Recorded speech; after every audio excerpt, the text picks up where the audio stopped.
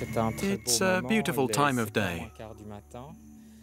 It's 6.45 in the morning, and I can see the sun rising in the mist above the forest.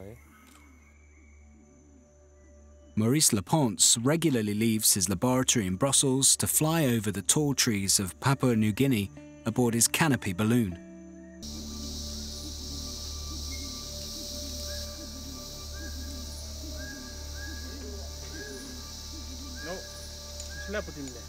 Careful, tie it down.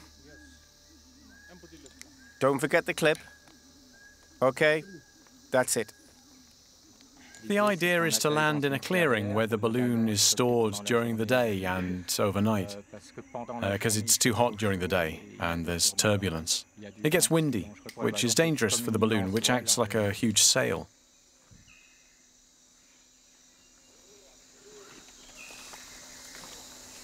This jungle provides a unique playground. It's a sanctuary for biodiversity.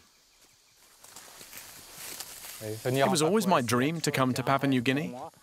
The same goes for most biologists, because it has an incredible biodiversity and a very diverse culture. It's the world's third largest tract of rainforest after the Amazon and the Congo Basin. So it's a phenomenal place for a biologist. Over 200,000 species of insects live in this jungle, found in the hollow of a tree. The back of this leaf is teeming with life. This is a windfall for these scientific adventurers who have set up their laboratory in the middle of this ocean of greenery, more than two days' walk from the nearest town. At their post in Wanang, where living conditions are pretty rudimentary, the scientists attempt to build up an inventory of the seemingly limitless rich biodiversity here. Every day, or almost, new species are entered into their archives, with each specimen more surprising than the next.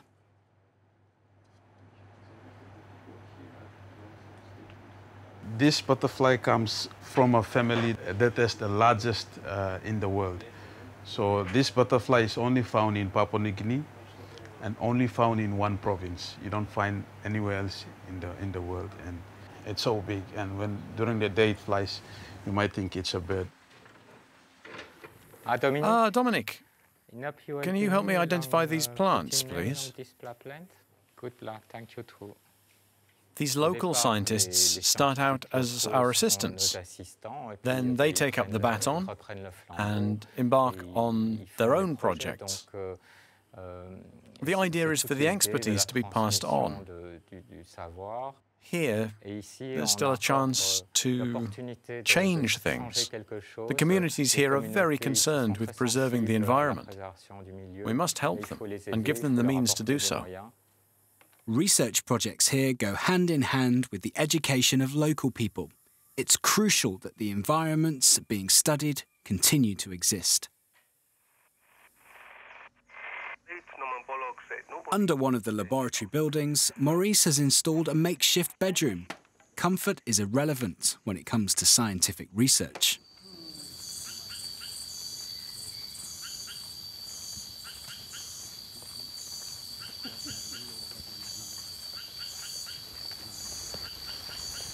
That was another short night.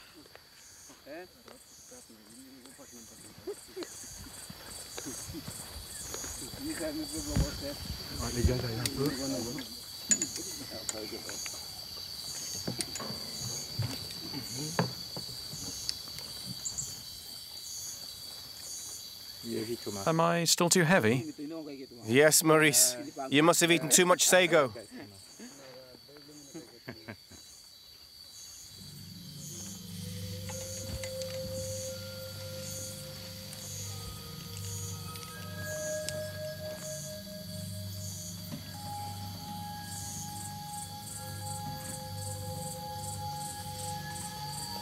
It's amazing.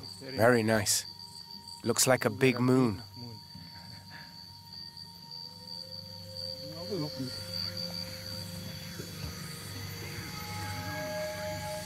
In Wanang this morning, Maurice is out exploring. He knows that the early bird catches the worm. he has come in search of a very special colony of ants.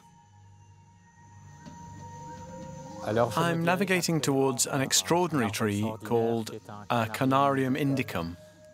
It's home to ant plants. He has spent days scanning the canopy for ant trees. They represent a fascinating partnership between vegetation and insects. It's a mutually beneficial partnership because the ants find shelter and the plants get food. Uh, according to my laser rangefinder, I am 33 meters above the ground. Being level with the treetops allows me to make observations which would otherwise be impossible. These are magical moments.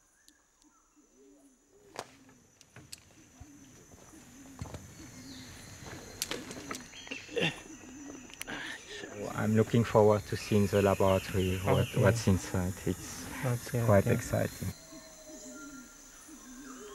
In most studies of the forest, especially tropical rainforests where the trees are very tall, we only have access to this very limited layer at ground level.